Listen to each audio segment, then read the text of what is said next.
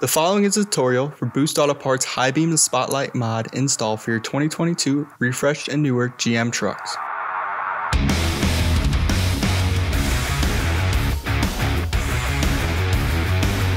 This mod allows your spotlights to turn on automatically when your high beams are activated.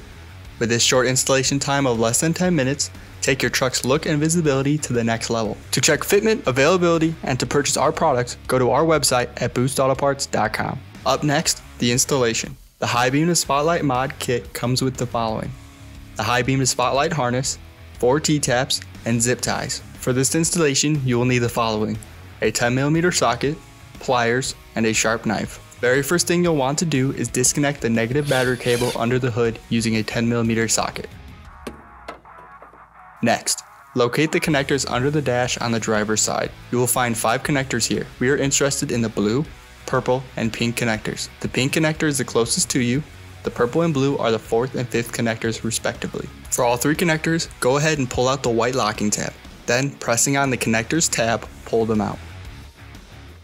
With all three connectors disconnected, Remove a few inches of tape for better access to the wires. Next, take the pink connector.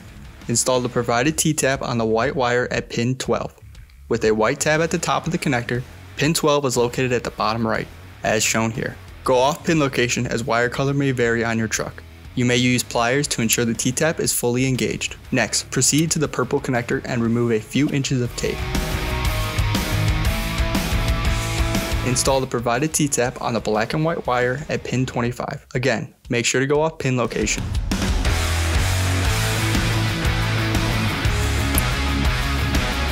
Finally, on the blue connector, clear any tape on the harness. The first tap location is at pin 28. For us, this was a yellow and gray wire. With the white tab at the top of the connector, this wire can be found on the bottom row, second from the right. Go ahead and tap here using the provided T-tap. The second tap location is at pin 16. On our truck, this was a yellow and white wire. With the white tab at the top of the connector, this wire can be found on the second to last row on the very left. Go ahead and tap here too. Next, take the high beam to spotlight harness and bring it to the blue connector. The disconnects at the two white wires on the harness can be plugged into the T-taps at pins 16 and 28. It doesn't matter which of these white wires connect to which of the two T-taps. Bring the black wire on the harness to the purple connector and insert the disconnect to the T-tap you previously installed at pin 25. Then, proceed to the pink connector.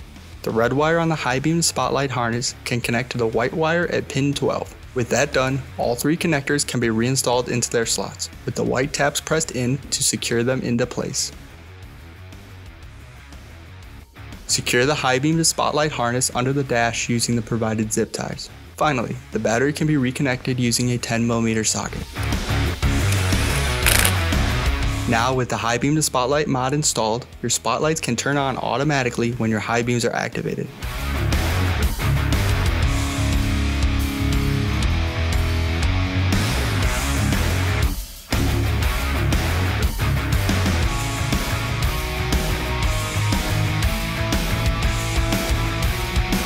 Thanks for watching this video. The Boost Auto Parts Spotlight and Drive mod can be purchased on our website at boostautoparts.com. Boost Auto Parts also offers a wide range of parts and accessories for your truck or SUV. To stay up to date on new product releases and more videos like this, subscribe to our YouTube channel. That's all for now. Catch you in the next one.